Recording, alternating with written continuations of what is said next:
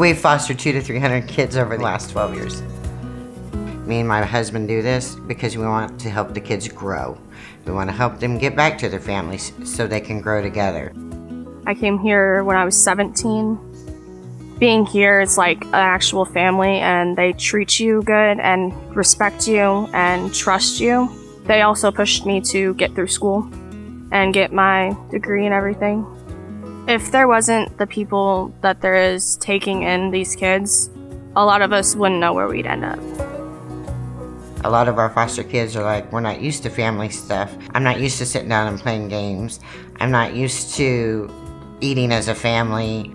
That's our main goal is family. TFI has devoted herself to my family and making my family stronger because their workers are available all the time, you know, giving me suggestions on how to improve things and what would be the best for my family at that time. I love to see the growth. That's one thing that keeps me doing this is watching the children grow and become more responsible adults.